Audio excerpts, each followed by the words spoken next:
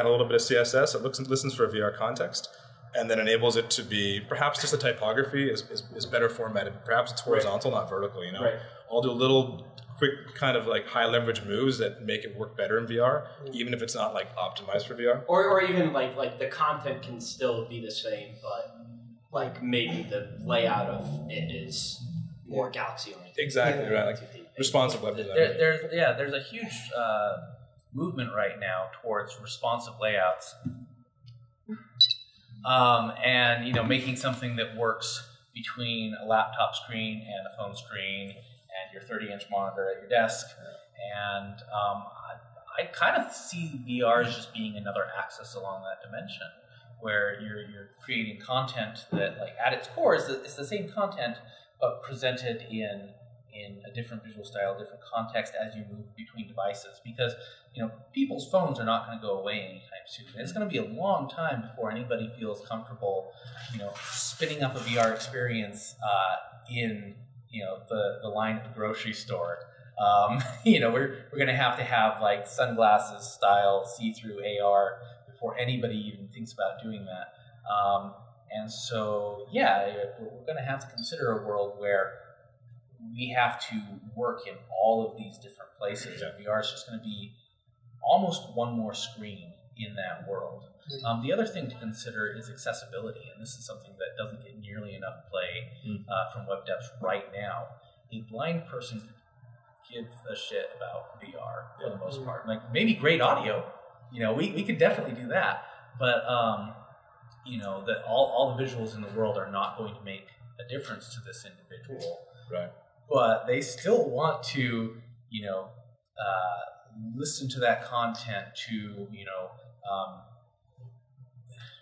read is the wrong word, uh, but you know, consume the information on that page.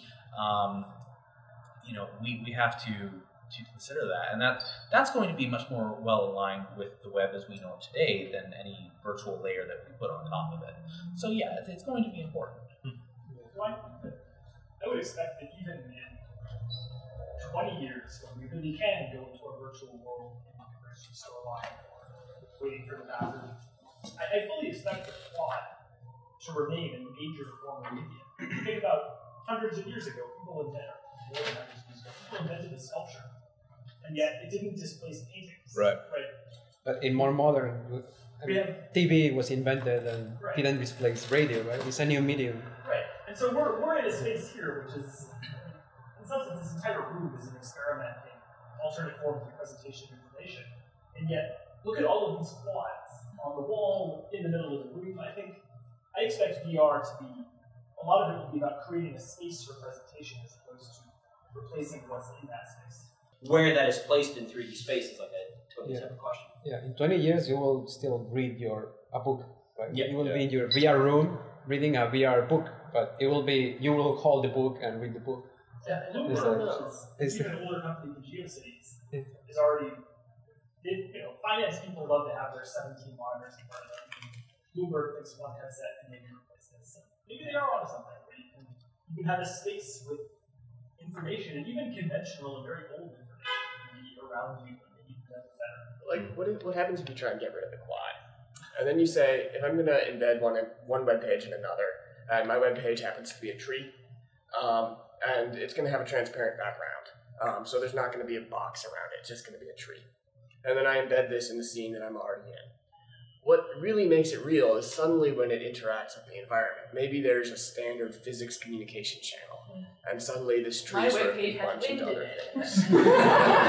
exactly. Wind supported? Yes, no. I don't know. well, that we've, we've talked about that. Like every hmm, the iPhone comes out, they introduced inertial scrolling. Inertial scrolling is a beautiful optimization of a classic convention for the medium and the capabilities of, the medium, touchscreen. Like I can imagine future web clients competing based on who has the best default physics. So your declarative scene inherits a certain set of physics, and then it's, it's some it's some like combination of the developer's intent and the browser's built-in interpretation of that markup that defines what the user actually perceives, right? And then you can imagine people being like, "Oh my god, have you seen Chrome's new gravity model? It's amazing. it makes like Opera's gravity model look like crap." You know. I left Mozilla out of this. I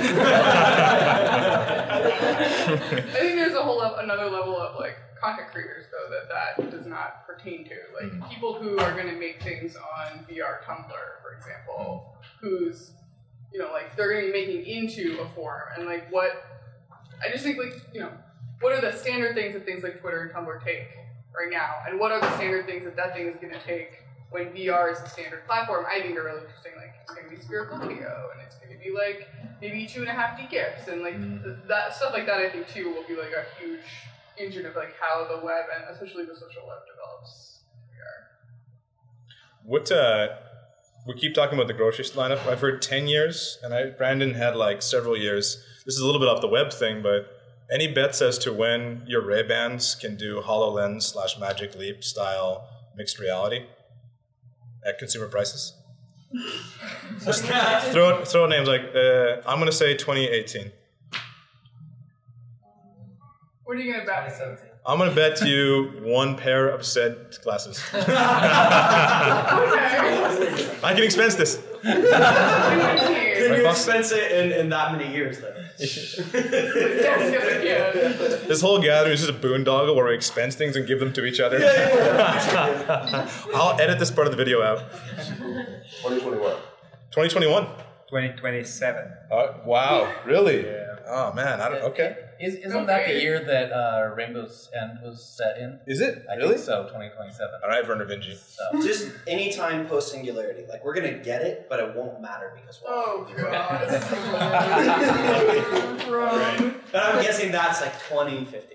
2015. Yeah. 15. Yeah. One five. Yeah, yeah, Like this yeah. year? Yeah, we're all. Like any day now. right now. Uh oh. One of us.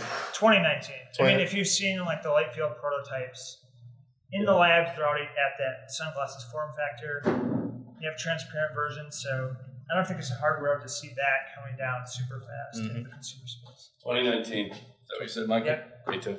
I think it's also like extremely variant on like how much like because there's like hardware, but there's like I think a lot of like what we forget is how important software is. Like at Leap, like one of the one of the most difficult things is like we solve this we solve this like really really difficult hardware problem, but then like it's like look this thing is amazing this really really works but then you realize like oh crap we need to completely rethink every single interaction we've ever had Right. and i think a lot of like when this stuff is ready is how the momentum continues because obviously if we keep this momentum up like the entire companies are like oh crap we're going to release a product like a year early just because it's so fast paced right now and if if we are able to maintain that momentum like i think like 2017 2018 like we're going to have like really like things out there ready but Don't that talk us into a VR bubble, sir.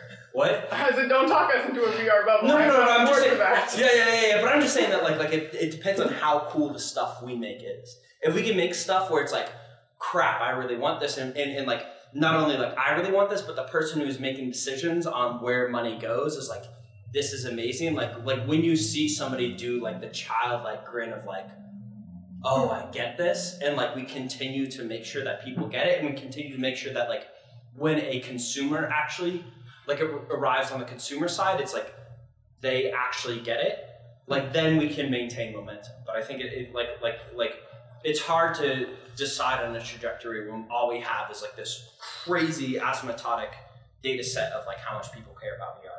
Like if we can keep on going like yeah to the moon. But I think that like like like one metaphor I really like is that like VR right now is like this rocket ship. It's taking off. It's going somewhere. We don't really know where, but everyone's like, dude, that rocket ship looks awesome. Like, I want to get on that rocket ship. I want to ride it there. And there's like a lot of people who are like selling tickets to like the destination that VR is going to. Like, like if it's going to Saturn, there's a lot of people being like, hey, we're going to Saturn. Like, everybody hop on board. But there's not so many people who are like, this thing needs to like make it through the atmosphere. Like, who is going to be the fuel for this ship? Not who is going to ride this ship to the destination, but who's going to like sacrifice themselves because there's going to be a lot more failed companies before we get to a place where we're like actually like chilling in the rings of Saturn. So I think a lot of the questions like how many more people are willing to like like completely fuck themselves up and destroy their own personal life in order to make this thing happen. No one. yeah. Sort of dramatic. Not me, not me. I'm just here for the ride. I'm just saying, who else is gonna do it? We're not going to explode when we hit the bar. It's going to softly on the bar. What was We're the- going to recycle ourselves. Yeah, yeah, yeah, yeah, yeah. What was the Soviet dog that died in space? Like Yasha or something like that? Laika. Like, Laika. So who's gonna be the Laika and who's gonna be the Yuri Gagarin? They're, they're all in this circle. So, so Josh, to, to throw my to throw my bet into the pool, I'm going to say, um, you know, Ray Bans with VR are going to hit in 2018, I think, and then Apple will invent VR in 2019, and everybody will care. That's the thing. I, yeah, yeah. I can't wait to see what Apple does. They don't. In, they, Press the button. Bouton. Um, what is the? All right. So the web's really awesome. It's, it's very vibrant. It's got a lot of really cool things about it. It can also be scary as shit, as we've seen in a lot of different ways in the last year. Like, what is the scary stuff you're worried about in WebVR, and how do we mitigate it, or how do we lead to a happy outcome, not a dystopian, scary WebVR outcome?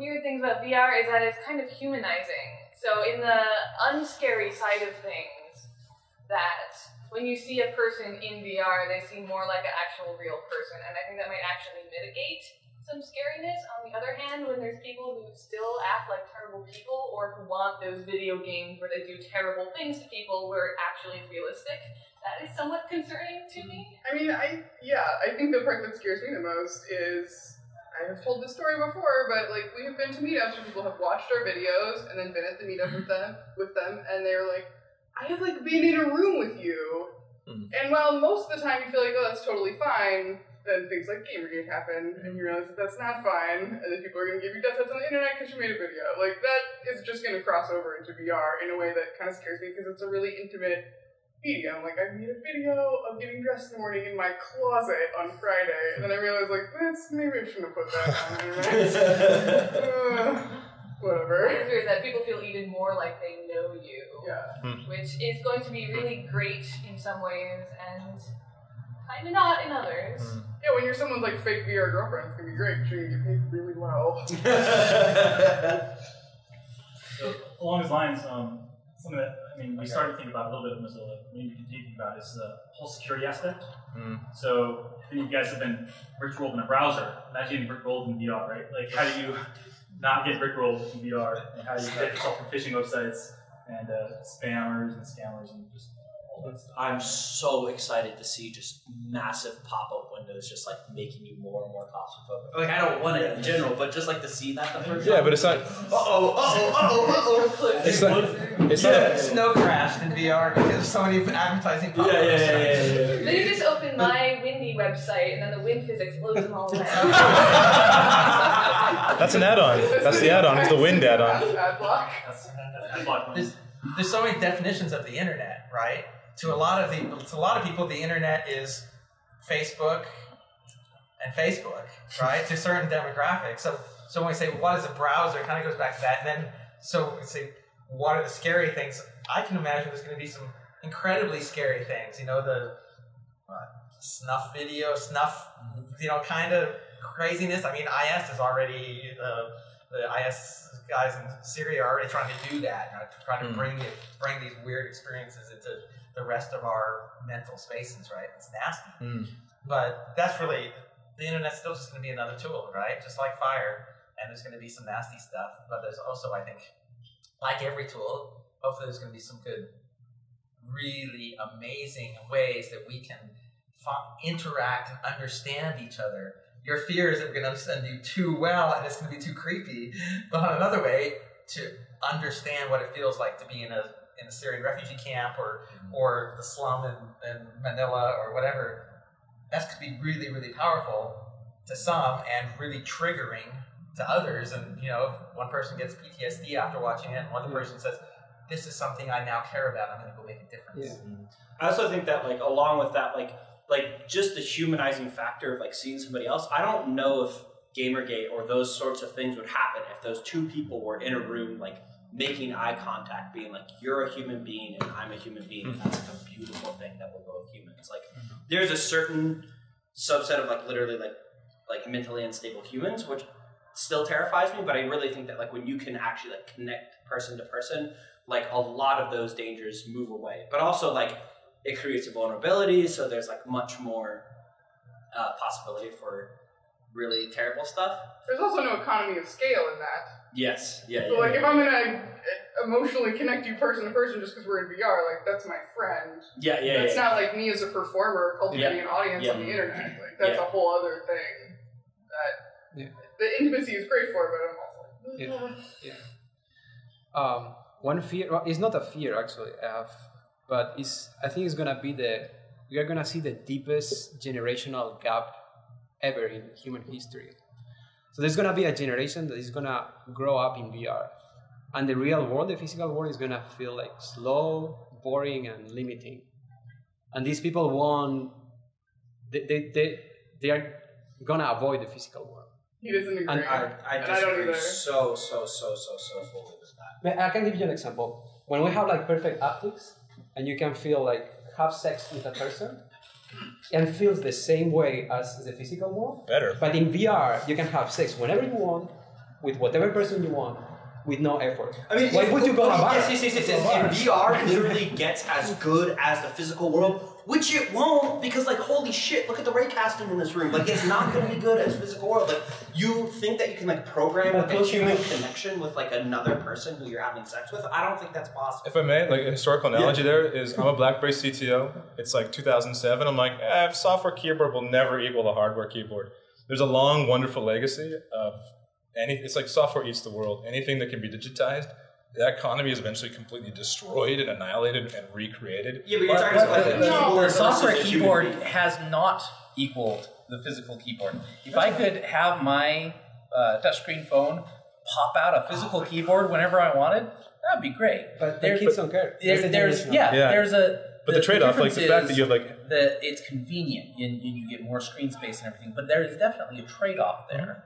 And as long as there's a trade-off to be made between VR and real life, I think that we're we're going to be okay. I So also like think that that fear is really old. This is not the first time Yeah. we've been making this argument. People made that argument about television. People make that argument about radio. People made that argument about reading. Like people have been making the oh my god we're never going to come back to the real world and it's going to be so awesome and we're never like it, it just isn't true. It's never been true as for the you know I want I want to say There's, thousand years there- probably more than that. there's It's just always not generational true. gaps, right? Like when rock came out, it's like this is not music, this is noise, or you see what I mean? But this is much more profound. It's like deta- detaching ourselves from the physical world. Like it's giving you superpowers. You can fly. You, you can you can move things with your mind, right? And you're in the real world, and you cannot do any of that. Yeah, it's gonna be boring. Um, there's going to be people who can't spend all day every day in VR, and it's just going to be entirely cut off from the people who can. Well, that one is dead. So I don't think it's going to be like end of the world scenario, but I do think it's going to be a slightly bigger gap than previous. I think that eh, to me, the like the fear that you have is like almost like the biggest hope that I have. Like my my favorite like analogy of that is me me and my homie uh, like go around in Elite Dangerous.